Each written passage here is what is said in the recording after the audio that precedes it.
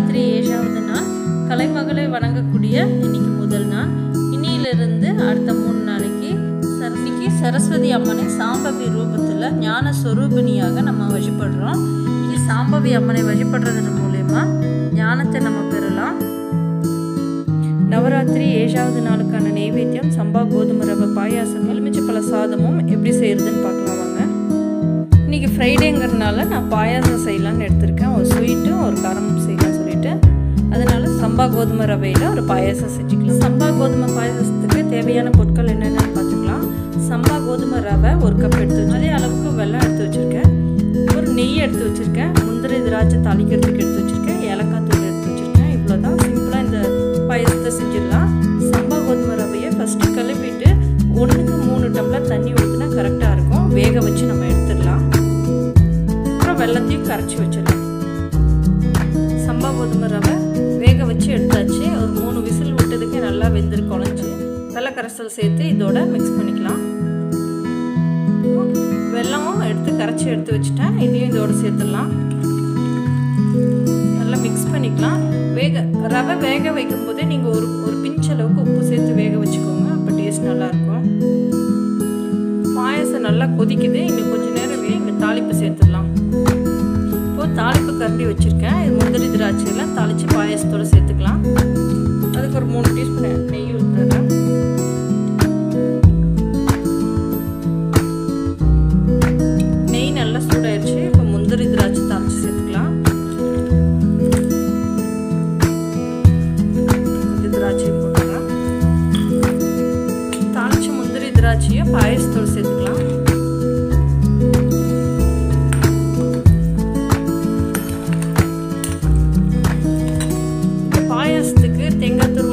வறுத்து போட்டால் கூட நல்லாயிருக்கும். அதனால் ஒரு கப் அளவுக்கு நம்ம தேங்காய் துருவல் சேர்த்து நெய்யில் வறுத்து பாயசத்தில் சேர்த்துக்கலாம்.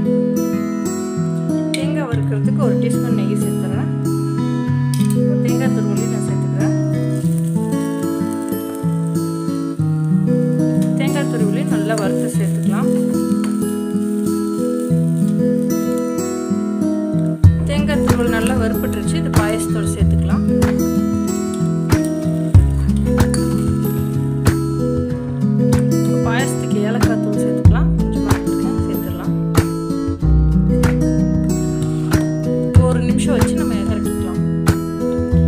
பாயசம் நல்லா கொதிக்குது ரெடி ஆயிடுச்சு. நம்ம இப்போ இறக்கி வச்சிடலாம். அடுத்து நம்ம லெமன் சாதம் செய்ய போகிறோம் லெமன் சாதம் செய்யறதுக்கு தேவையான பொருட்கள் என்னென்னு பார்த்துக்கலாம் எண்ணெய் எடுத்து வச்சுருக்கேன்.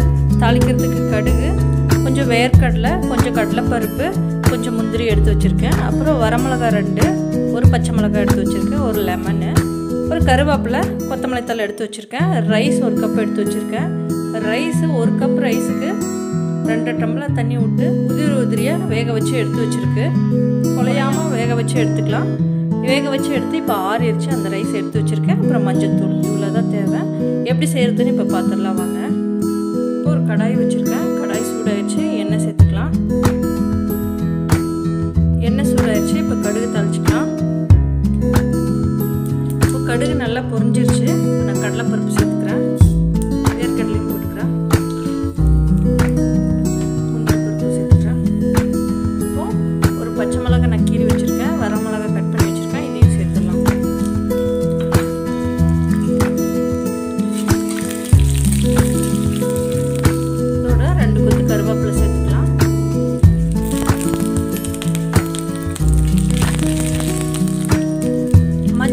டீஸ்பூன் சேர்த்துக்கலாம்.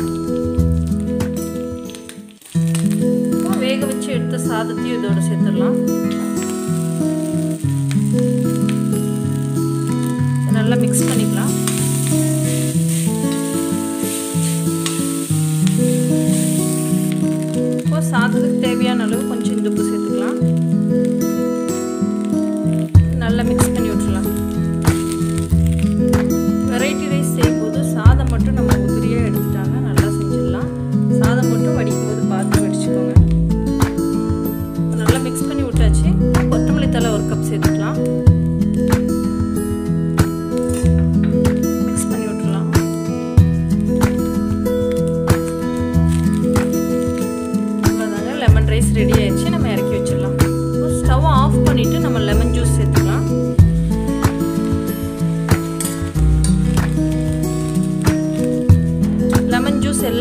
படுற மாதிரி நல்லா மிக்ஸ் பண்ணி விட்டுடலாம்.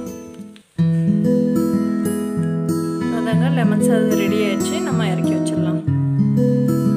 நவராத்திரி ஏழாவது நாளுக்கான நெய்வேத்தியம் லெமன் ரைஸும் சம்பா கோதுமை ரவை பாயாசமும் ரெடி ஆயிடுச்சு. இந்த மாதிரி நீங்களும் செஞ்சு பார்த்து எப்படி இருக்குன்னு கமெண்ட்ஸில் சொல்லுங்கள்